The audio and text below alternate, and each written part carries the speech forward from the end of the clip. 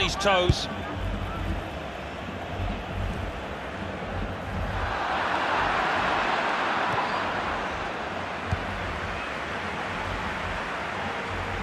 Could be dangerous. Great ball. Has to score. And here it is. Goal!